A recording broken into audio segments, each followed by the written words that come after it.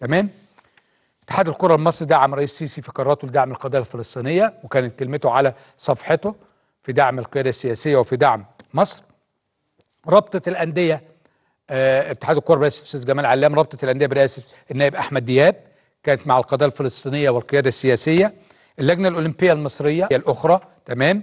اتحاد كرة السلة دكتور مجدي أبو فريخة.